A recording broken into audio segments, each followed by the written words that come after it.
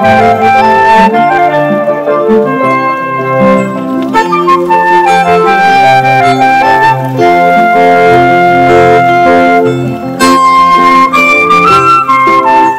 প্ৰজন্মই নিজৰ মাটি কিমান আছে তাক নেজানে।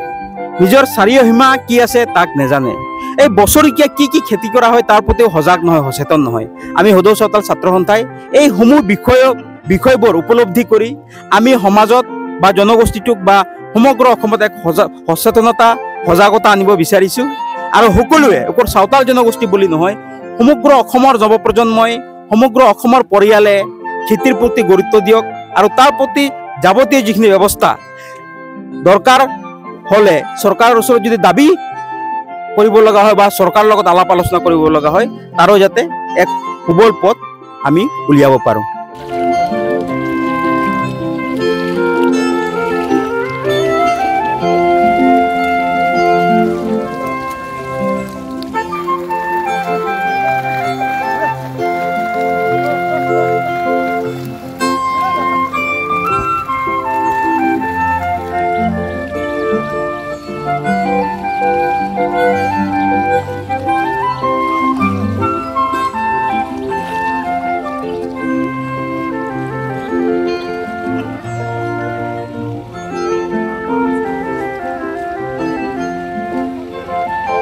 আজি সদৌ চৌতাল ছাত্ৰ সন্থাই তামোলপুৰ জিলা চাউতাল ছাত্ৰ সন্থাৰ উদ্যোগত আমি টেবিটোলাত এক ভূঁই ৰোৱা কাৰ্যসূচী ৰূপায়ণ কৰিছোঁ।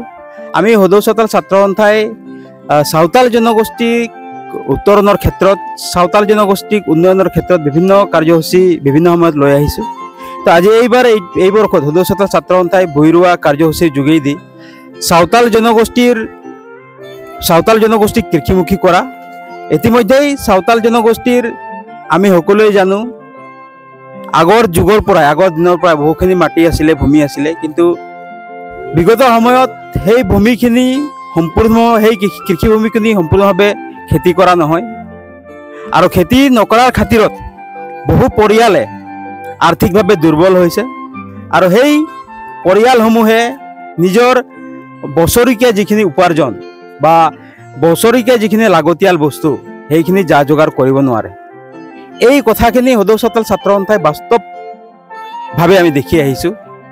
আমি সদৌ চৌতাল ছাত্ৰ সন্থাই এটা প্ৰয়াস কৰিছোঁ যে সমূহ পৰিয়ালে কৃষিমুখী হওক যিহেতু চাওতাল জনগোষ্ঠী বিভিন্ন বেপাৰ বাণিজ্যত ইমান পাকৈত নহয় আৰু চাওতাল জনগোষ্ঠী আদিমৰ পৰাই খেতিৰ ওপৰত নিৰ্ভৰ কৰি জীৱিকা নিৰ্বাহ কৰা এটা জনগোষ্ঠী। খেতিৰ লগত এটা সুসম্পৰ্ক থকা জনগোষ্ঠী। আৰু সেইকাৰণে সদৌ চৌতাল ছাত্ৰ সন্থাই বিচাৰিছে যে সমূহ চাওতাল জনগোষ্ঠীয়ে কৃষিমুখী হওক যাতে এই কৃষিমুখীৰ উপাৰ্জনৰ যোগেদি চাওতালে নিজৰ অৰ্থ সামাজিক শৈক্ষিক দিশত আগবাঢ়ি যাব পাৰে। তাৰ লগে লগে সদৌ চৌতাল ছাত্ৰ সন্থাই আমি অতি আগৰ পৰাই এটা কথা অনুভৱ কৰি আহিছোঁ যে উঠি অহা নৱপ্ৰজন্মই চাওতাল জনগোষ্ঠীৰ যি শিক্ষিত যুৱক যুৱতী আছে খেতিৰ প্ৰতি সজাগ নোহোৱাৰ কাৰণে খেতিৰ প্ৰতি কায়দা কৌশল নজনাৰ খাতিৰত বহু ল'ৰা ছোৱালীয়ে বহিৰাজ্যত কাম কৰিবলৈ যায় কাৰোবাৰ তলতীয়া হৈ কাম কৰে। আমি সদৌ চৌতাল ছাত্ৰ সন্থাই প্ৰয়াস কৰিছোঁ যে এই কৃষিভূমি এটা আমাৰ আত্মা এই কৃষিভূমি এটা আমাৰ সম্পত্তি ইয়াক কেনেকৈ ব্যৱহাৰ কৰিব পৰা যায় পৰৱৰ্তী দিনত তাৰ যোগেদি চাওতাল জনগোষ্ঠীক লাভান্বিত হওক তাৰ যোগেদি চাওতাল জনগোষ্ঠীয়ে উন্নতিৰ জখলাত বগাই যাওক তাৰ কথা চিন্তা কৰি আমি বিচাৰিছোঁ চাওতাল জনগোষ্ঠীৰ ছাত্ৰ ছাত্ৰীসকলে বা নৱপ্ৰজন্মই যি যি ধৰণে শৈক্ষিক দিশত আগবাঢ়ি গৈছে চৰকাৰী চাকৰিৰ দিশত আগবাঢ়ি গৈছে এই সমান্তৰালভাৱে নৱপ্ৰজন্মই খেতিৰ প্ৰতি সজাগ হওক খেতি এটা সম্পত্তি খেতিৰ দায়িত্ব দায়বদ্ধতা ইয়াতে অনুভৱ কৰক আৰু এই ইয়াৰ যোগেদি আমি আমাৰ অৰ্থ সামাজিক শৈক্ষিক তথা স্বাস্থ্যৰ ক্ষেত্ৰত আমি গুৰুত্ব দিব পাৰোঁ